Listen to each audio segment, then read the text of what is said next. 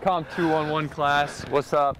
We got Justin and Yuki right here, and we're talking to you guys today about family interactions and how that affects society. so Yuki, just tell us a little bit about Derek Black and his experience with his family and how that affected his life. Okay, uh, Derek was raised in a white nationalist community, mm.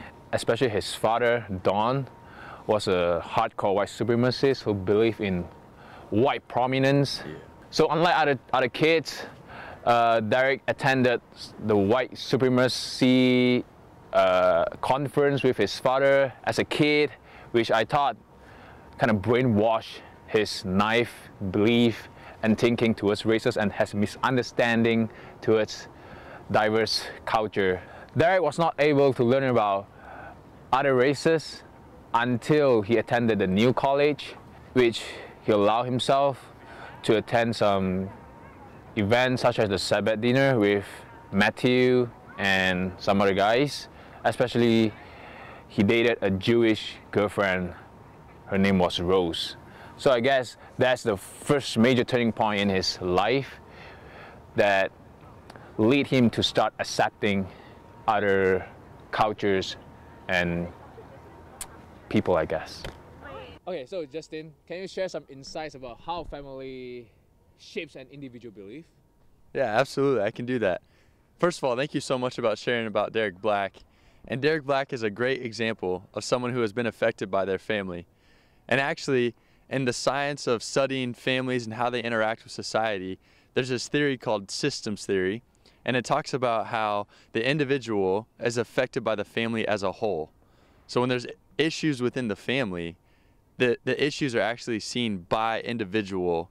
Um, and so each individual part, whether it be the mom or the dad or the brother, they affect other people in the family equally. And so with each of these parts coming together, it affects the whole of the person and their experiences and their outlooks on life. And so exactly what we saw from Derek Black, his communication with his family, the experiences that he had um, with learning about white nationalism and uh, being taught that white people are supreme, each of these little individual parts made up who he is as a whole. Mm-hmm. All right, now that we've talked about theory within families and what it looks like with an individual being affected by their family, an example from Derek Black and Rising Out of Hatred, we want to invite a, fr- a friend onto our PSA uh, so that he can talk to you more about this issue.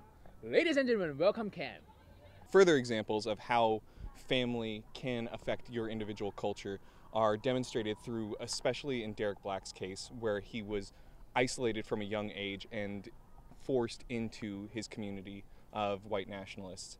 Uh, he was homeschooled, he was encouraged well, not necessarily uh, forced into believing that he is a white nationalist and that white people are supreme. He was raised in a culture uh, where his father, mother, siblings, and even his godfather would continually just reinforce his beliefs and his research. It's similar to how a person grown and raised in a Christian family will typically take after their parents and be Christians as well. And so, to close this entire PSA, the main goal that we want you guys to understand is that a family affects an individual, and that individual then goes into society with ideas and experiences from their family. But what's important to note is that they don't just have to stay with those ideas, they can grow into a culture, into a personality that they want to be individually and then they can communicate with others based upon how they want to do it, not necessarily just what the family says they should.